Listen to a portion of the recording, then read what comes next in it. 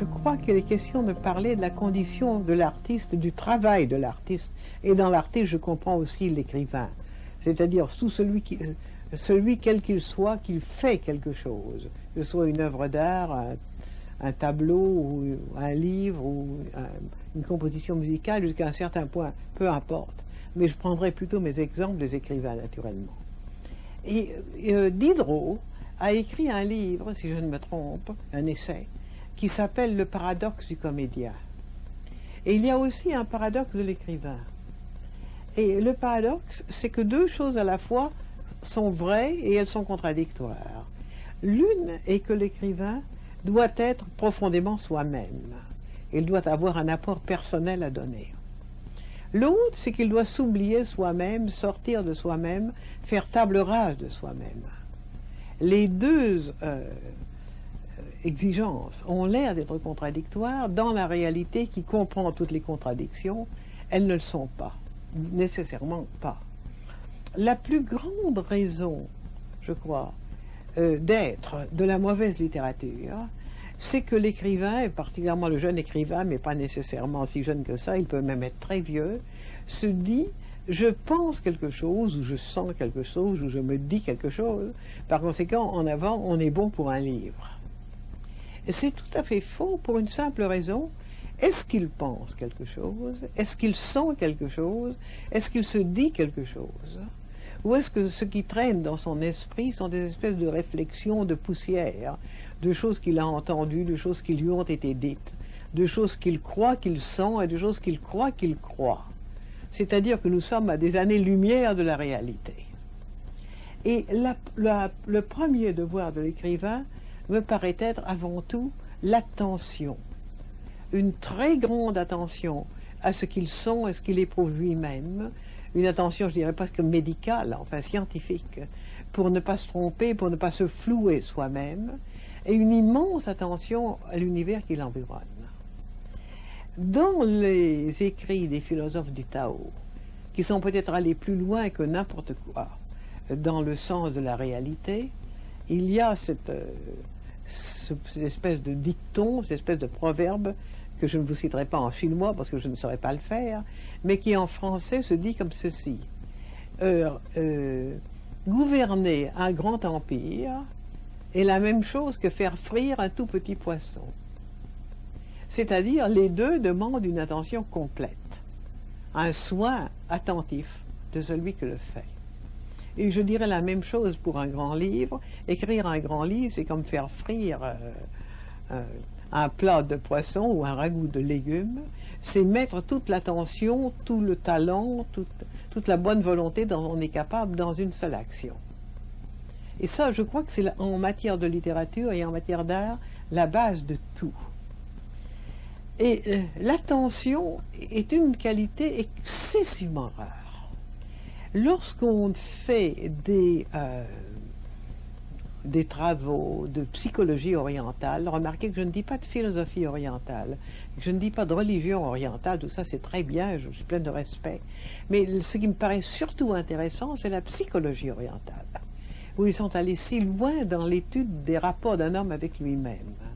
Et la première vertu conseillée, c'est l'avidya, l'attention être attentif à ce qu'on fait, être attentif au mouvement de ses muscles, être attentif à son regard, voir exactement ce qui se passe en vous et hors de vous. Et euh, l'écrivain euh, qui produit un livre utilise des millions de petites remarques qu'il a faites, dont il ne se souvient même plus qu'il les a faites très souvent, mais qui sont en quelque sorte, euh, qui ont passé à travers cet ordinateur qu'est son cerveau. Et plus un livre est riche, et vous n'avez qu'à en faire l'essai sur n'importe quel grand ouvrage, que ce soit la guerre ou la paix ou n'importe quoi, plus au lieu d'avoir des creux, comme nous avons dans presque tous les livres que nous ouvrons, plus vous voyez que le moindre détail a une valeur d'extrême réalité. L'auteur est parti d'un petit fait ou d'une petite sensation qu'il connaît vraiment. Je crois donc que l'attention est le premier devoir de l'écrivain.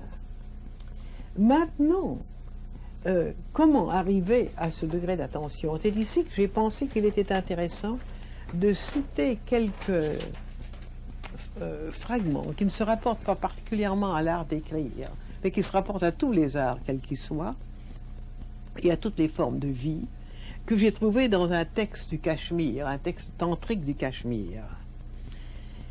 Que l'esprit bloqué sur une chose ne la quitte pas trop vite pour s'orienter vers une autre. C'est-à-dire que dans toute sensation, dans toute émotion, dans toute description d'un fait, il y a une marge, une espèce de ce qu'on appelle le dessin de la déchirure dans les peintures de Rembrandt, où la ligne n'est jamais rigide, on sent toujours cette espèce d'imperceptible changement d'un petit morceau d'étoffe jusqu'à un autre. Et c'est vrai de toutes les circonstances de la vie. Les gens qui pensent conventionnellement ne voient pas cette marge. Il quitte un sujet pour passer à un autre sans avoir réfléchi au, à l'aura, à la marge que comporte avec soi chaque sensation. Dans l'anxiété, dans la terreur, et l'auteur ajoute drôlement dans l'éternuement, c'est vrai que Montaigne a dit quelque chose de pareil, quand on surplombe un précipice, quand on fuit un danger, quand on ressent une vive curiosité, au moment où se perçoit, où s'apaise la faim, l'existence se révèle.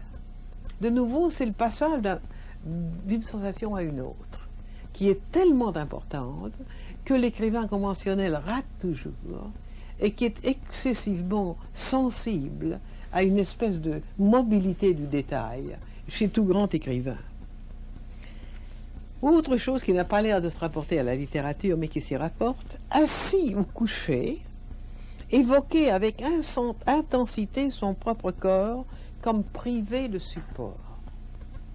C'est-à-dire, nous nous croyons fermement établis dans quelque chose, nous ne sommes fermement établis dans rien du tout. Nos caractères, nos personnages, les, les choses que nous décrivons non plus. Il ne faut jamais oublier cet élément d'instabilité de base, sous la stabilité. Et la vérité est à ce prix-là. Euh, quand ils disent méditer sur l'univers comme sur un tourbillon, ils disent la même chose. Euh, autre chose, faites attention à l'inconnaissable, à l'insaisissable, au vide, à tout ce qui n'accédera jamais à l'existence. Et en effet, derrière chaque situation, derrière chaque être, il y a toutes les virtualités, il y a toutes les possibilités en lui qu'il n'a pas encore révélées, qu'il ne révélera peut-être jamais, mais qui sont là et qui l'enrichissent sans qu'il le sache. Et ça, c'est une autre chose auquel nous devons toujours songer quand nous pensons, par exemple, nous, romanciers, à nos personnages. Ne pas fixer la pensée. J'ai parlé tout à l'heure de fixer l'attention, oui. Mais la pensée, non. Parce que la pensée, c'est déjà une opinion. Et il s'agit que l'esprit soit sans opinion, qu'il reflète toutes les choses. Stendhal disait dans une métaphore qui est bizarre, mais qui a été quelquefois employée dans l'équivalent dans la peinture ultramoderne, comme celle de la, du peintre américain Deste, qui est mon voisin ici, euh, l'esprit est une espèce de miroir qui se promène sur les routes. Un peu surprenant ce miroir qui se promène sur les routes. Mais le peintre américain St, par exemple, montre les vitrines des autobus reflétant les passants et les vitrines qui passent. Méditer sur son propre soi en forme de firmament illimité, c'est-à-dire se rappeler que nous sommes beaucoup plus grands que nous. Et ce qui n'est pas du tout une forme d'orgueil, l'écrivain en, en, réalité est très humble. Chaque fois qu'il sort d'avoir écrit un livre, il se dit, bon Dieu, j'ai réussi à faire ça. Et il éprouve à peu près le même sentiment que celui dans la ballade allemande du cavalier qui avait traversé le lac de Constance gelé la nuit sans s'apercevoir que c'était un lac, et qui tombe de saisissement de son, au bas de son cheval en s'apercevant de ce qu'il a fait. À chaque fois que l'écrivain, je pourrais dire l'artiste ou n'importe quoi, je dis l'écrivain parce que nous avons affaire à un écrivain qui ici se trouve être moi-même, chaque fois que l'écrivain termine un ouvrage, il a la stupeur qui lui ait été accordée d'aller si loin de soi dans un domaine qui est celui de la vie. Et c'est ici que je crois qu'il y a une autre remarque qui est essentiellement importante. L'écrivain doit vivre. quelqu'un qui se dit, bon, je vais m'enfermer pour écrire un livre, sûr d'avance que ce livre sera mauvais. Nous allons voir pourquoi. Ibsen a dit merveilleusement, un écrivain qui ne vit plus euh, est devenu un mauvais écrivain. Il ne fait plus que d'écrire des livres. C'est-à-dire il est, euh, coupé d'un certain mouvement vital. Et c'est sur cette même, sur cette ligne de mouvement vital qu'il s'agit de rester. Et non seulement la vie présente, mais la vie passée fournit à un livre, pas beaucoup de sa substance, beaucoup plus que l'écrivain ne le dit, mais pas comme le public le croit. C'est-à-dire que ce n'est pas nécessairement l'histoire de l'écrivain. Après que j'ai écrit La mort d'Antinoos noyé dans le Nil, des gens venaient me demander d'un air de, de componction si j'avais eu un ou des amis qui s'étaient noyés. Mais non, pas précisément. Ce, n'est pas de cette façon-là. Ce, ce dont il s'agit, c'est de bloquer tout ce qu'on a appris de la vie à travers ces personnages, à travers les circonstances qu'on décrit.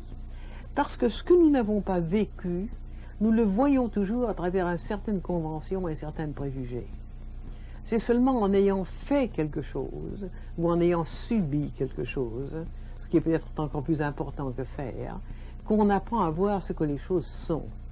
Tant que quelqu'un n'a pas été riche, il parle des gens riches comme d'une espèce de monstre qu'ils sont souvent, mais sans savoir exactement ce que signifie la possibilité pour quelqu'un, pour un certain temps, de vivre à sa guise ou de dépenser à sa guise.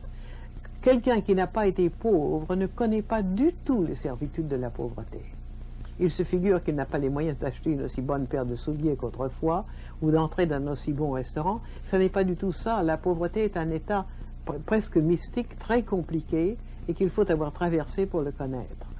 Et la même chose de tous les états, la maladie est un état. Et quelqu'un qui n'a jamais été malade serait un monstre, disait Tolstoï. Il serait en tout cas un très mauvais écrivain.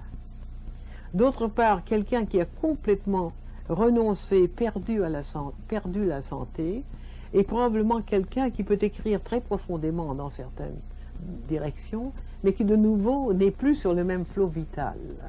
À tel point que de nouveau les techniques orientales, les techniques psychologique orientale, conseille à quelqu'un de très malade de s'imaginer marchant, de s'imaginer montant une montagne, de s'imaginer nageant, pour ne pas perdre tout à fait le contact avec toutes les réalités corporelles.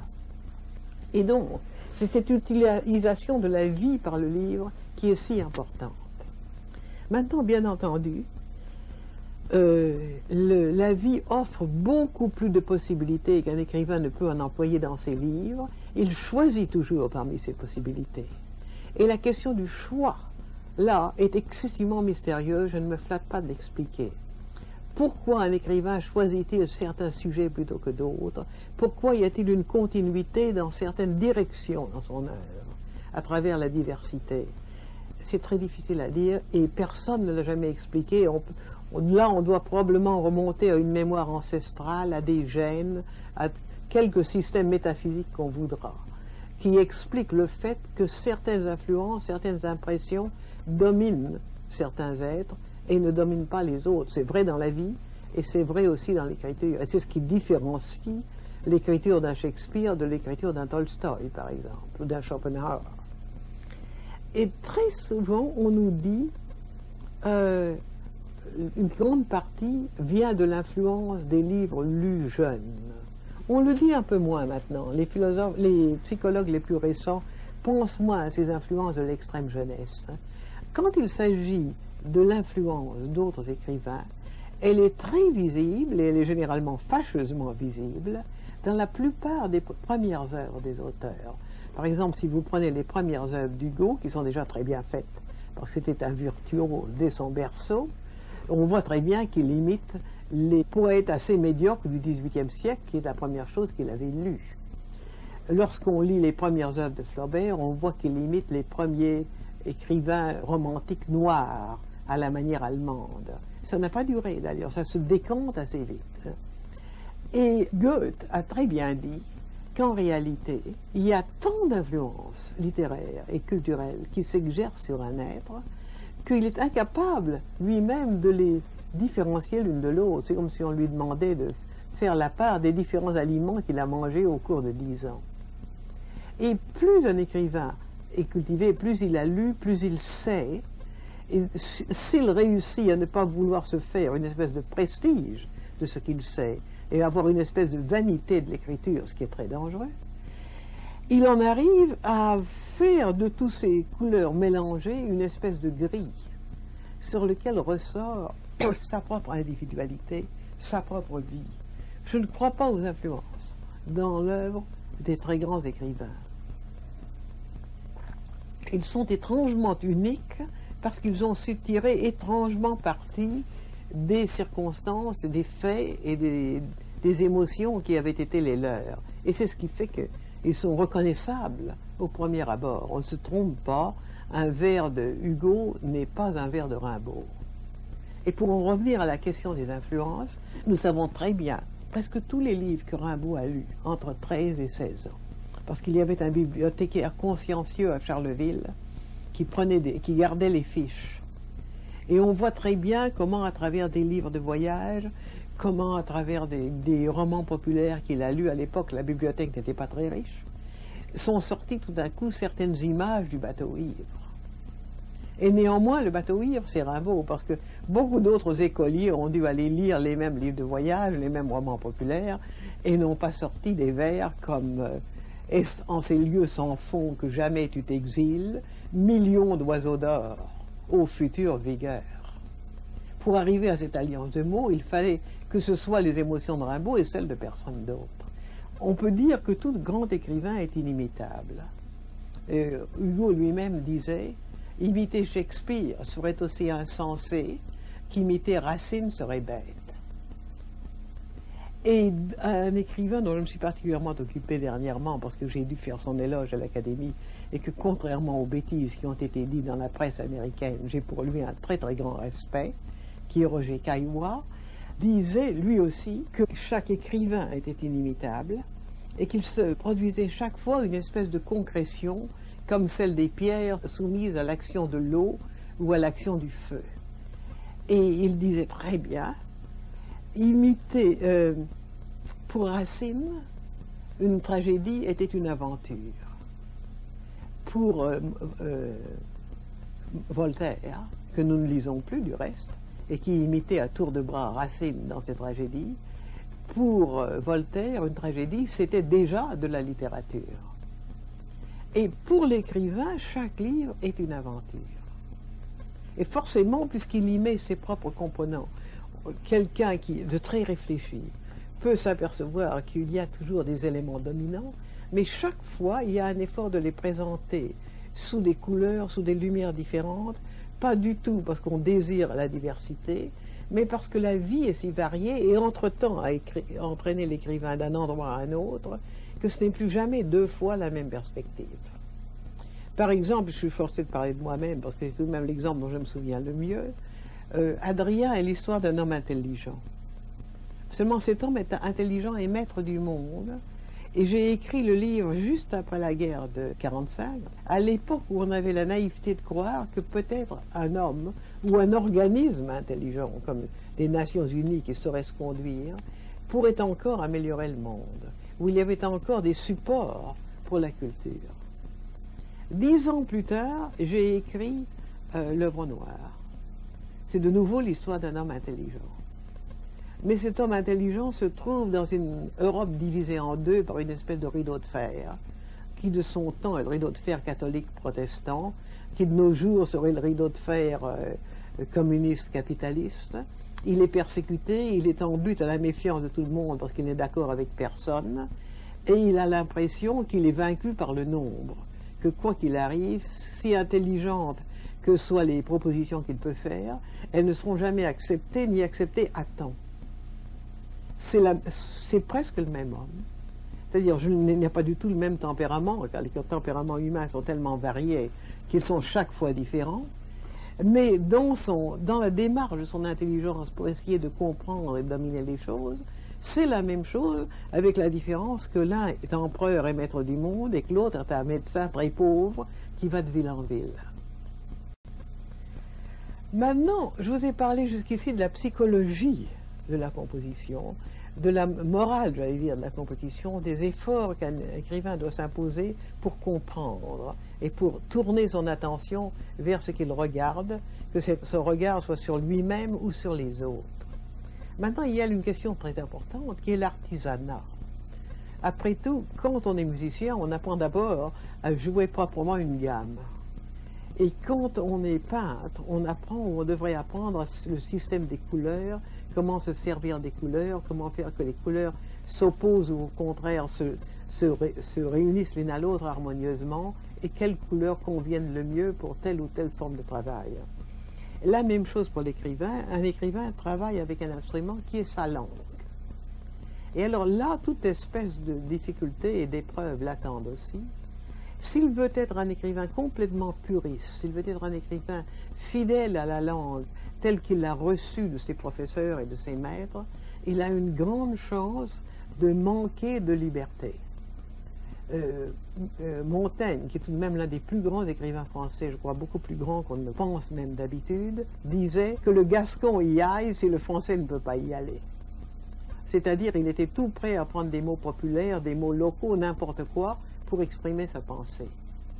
Et jusqu'à un certain point, tout grand écrivain est beaucoup plus libre envers sa langue, est un reconstructeur ou un enrichisseur de sa langue, beaucoup moins timide en ce qui concerne les alliances de mots, les termes, même la syntaxe, qu'un écrivain plus, comment plus conventionnel.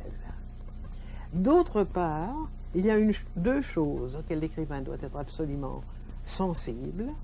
Il faut que son langage soit absolument fidèle à la réalité. S'il fait parler un empereur qui appartient à la tradition classique, il faut que son style ait quelque chose de la tradition classique. S'il fait parler un ouvrier, il faut se garder de tous les mots de plus de quatre syllabes. Du reste, Roger Caillois, que j'ai déjà mentionné il y a un moment, disait Je considère que tout mot qui a de plus de quatre syllabes est absolument anathème et il ne faut jamais s'en servir. Ça ne peut pas être honnête, ça ne peut pas être vrai.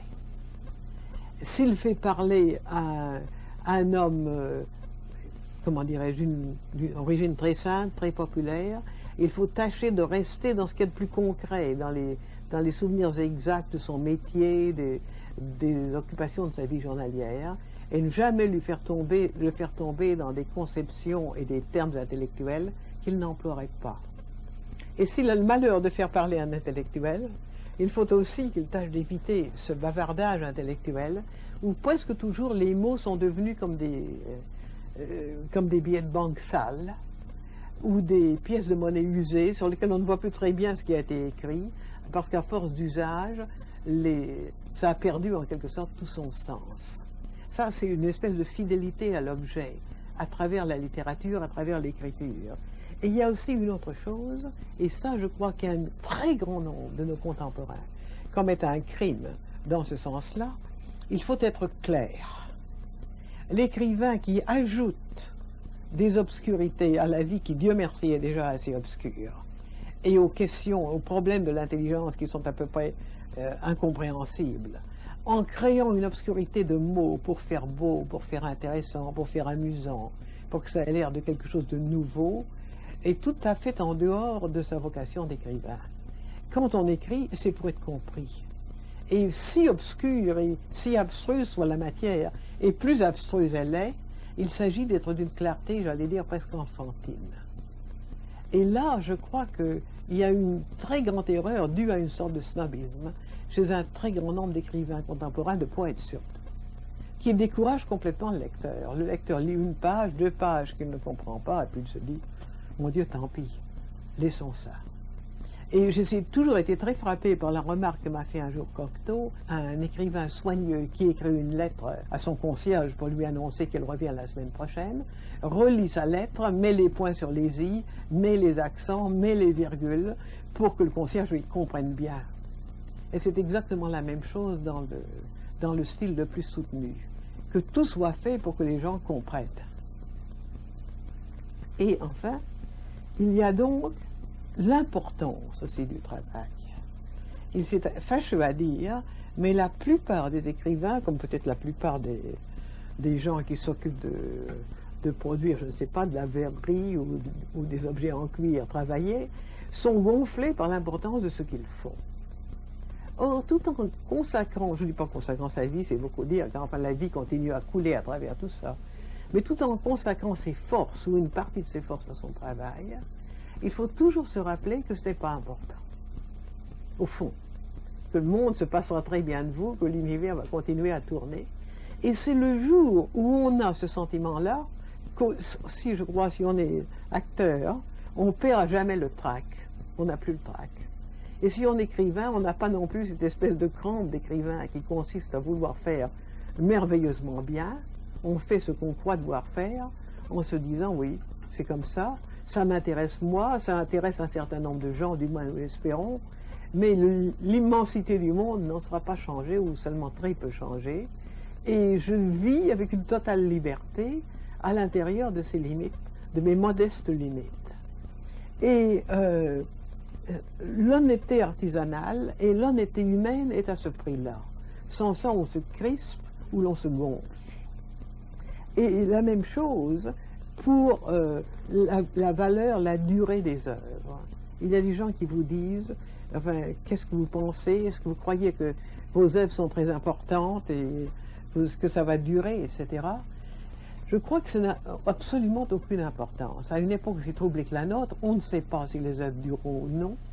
Et dans un livre de Bulgakov, Le Maître et Marguerite, que je trouve si beau, et qui est une espèce de chevauchée fantastique qui fait penser à la chevauchée de Berlioz, le héros est un poète, il avait une passion pour son livre, il avait consacré sa vie à son livre. Au moment de mourir, ou plutôt au moment où il est mort, mais il ne sait pas encore qu'il est mort, l'esprit qui est avec lui, le génie, le mauvais ange, qui vraiment est un bon ange, lui dit, écoute, brûle tout ça.